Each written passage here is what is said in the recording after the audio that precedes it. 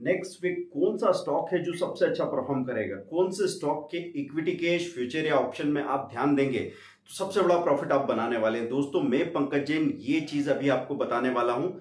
Video को पूरा सुनना है, ध्यान से सुनना है। आखिर तक इसको शेयर कीजिए लाइक कीजिए चैनल को सब्सक्राइब कीजिए। और दोस्तों, कुछ लिंक्स दे रखे हैं नीचे मास्टर क्लास के लिंक है और साथ में ग्राफिक की वेबसाइट भी खुशखबरी की बात है आपके लिए आ चुकी है, जहाँ पे आपको कोर्सेज और फ्री कंटेंट अवेलेबल होगा। उसका भी पूरा इस्तेमाल आप लोग कर सकते हैं। तो अगले हफ़्ते के लिए दोस्तों, एक स्टॉक है जो आपका फेवरेट है और उसमें अगर आप पोजीशन बनाते हैं तो इस हफ़्ते आपको बहुत बड़ा फ़ायदा मिलेगा। पीएसयू बैंक सेक्टर का सबसे बड़ा स्टॉक कौन सा है? बताइए आप गेस करके। हाँ आप सही समझे S B I N state bank of India limited. और बहुत दिनों से उसने अपने रेजिस्टेंस नहीं तोड़े थे, अब वो उस रेजिस्टेंस को तोड़ने की तैयारी में आपने देखा 531 का क्लोज आया है। 538 या 541 का जो साल भर का हाई है, उसको तोड़ने की तैयारी है। वो अपने 52 वीक हाई से 1.5 परसेंट हार्डली इतना ही दूर है। हो सकता है यहाँ से गैप अप खुल जाए। अगले दिन, जैसे वर्किंग डे में हम लोग देखते हैं कि ट्यूसडे को ये गैप अप खुल जाता है और अगर ये 540 के ऊपर कहीं खुलता है तो आपको पोजीशन बना लेनी है। पोजीशन बनाने में एक चीज़ ये होगी कि आप सामने से अगर शेयर खरीद रहे हैं तो हो सकता है पहले थोड़ा सा करेक्शन आए। जैसे मैं आपको हमेशा बताता हूँ कि 915 टू 920 एक एक मूवमेंट आ गया। 540 खुल के 545 तक चला गया। उसके बाद में नाइन ट्वेंटी फाइव से लेके नाइन फोर्टी तक उसने five thirty seven five thirty six का लेवल दिखा दिया। तो कोई बड़ी पोजीशन जैसे फ्यूचर में पोजीशन बनानी है तो मैं आपसे कहूँगा नाइन फोर्टी के बाद ही बनाना। और एक तरीका क्या होगा? डे के हाई पे स्टॉप लॉस बाइंग लगा के रखिए। अगर डे का हाई फाइव फोर्टी वन के ऊपर है तो डे के हाई पे स्टॉप लॉस बाइंग लगा के रखिए। और अभी अगर आपको लगता है कि five thirty three thirty five कहीं खुल गया है तो अगले हफ़्ते में जब भी 541 का लेवल टूटता है, वहाँ पे आप स्टॉप लॉस बाइंग लगा के रख सकते हैं। लेकिन अगर आप ये कहें, सर, मुझे तो ऑप्शन में काम करना है तो वो कैसे किया जाएगा?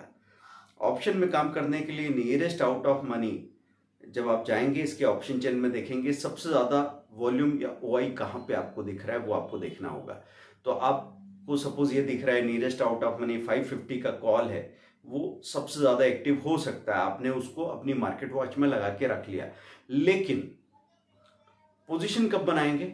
आप ऑप्शन के साथ इस तरीके से खेल नहीं सकते। तो पोजीशन बनाने के लिए हम लोग ऐसा करेंगे कि 50 शेयर या 100 शेयर की स्टॉप लॉस बाइंग हमने लगा के रखी है ब्रेकआउट पे। मतलब 541 का ट्रिगर है 542 की बाइंग प्राइस है। वहाँ पे आपने ऑर्डर लगा के रखा है। ऐसा अगर ट्यूसडे को नहीं होता है तो वेनसडे को रिपीट करेंगे वेनसडे को नहीं होता है थर्सडे को रिपीट करेंगे। लेकिन इस बात का ख्याल रखना कि कई बार लोग कहते हैं कि नहीं, आज आपने बताया था सर, ये तो हुआ नहीं, फिर हम भूल भाल गए। अगले तीन से चार दिनों के अंदर एक ही बार में इतना प्रॉफिट वो आपको दे सकता है कि आपके हफ़्ते भर का ही टारगेट पूरा हो जाए।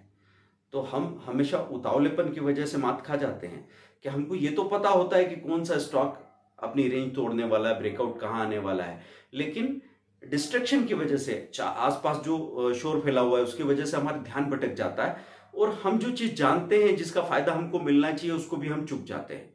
तो आपने क्या किया कि जैसे ही 541 का लेवल इक्विटी कैश में टूटा और आपके 50 शेयर्स की बाइंग हो गई, उसके बाद में ज़रूरी नहीं कि 541 से वो सीधा ही 550 560 चला जाएगा। 541 तोड़ के 543 44 हुआ, फिर नीचे आया, जैसे कल आईसीआईसीआई बैंक में हुआ था। तो आईसीआईसीआई बैंक का ऑल टाइम हाइट था 868 तो 868 उसने ब्रेक किया 872 तक गया, फिर वापस 68 67 तक आया। और फाइनली 876 का लेवल भी दिखाया। तो चीज़ें इस तरीके से काम करेगी। मैं कहूँगा, जब इक्विटी कैश में एक बार ब्रेकआउट के बाद जब वो सांस ले, तब आप फ्यूचर या ऑप्शन में पोजीशन बना सकते हैं। मार्केट वॉच में आपने 550 का एसबीआई का कॉल तो लगा के रखा होगा। अब वो 550 के कॉल में, जैसे आपको नज़र आया कि अभी दस रुपये नज़र आ रही है प्रीमियम तो आप 8.5 की बाइंग लगा के रख सकते हैं। ये डिफेंसिव बाय है। वो नीचे कहीं आ गया और आपको उस लेवल पे मिल गया तो मज़ा आ जाएगा। तो आप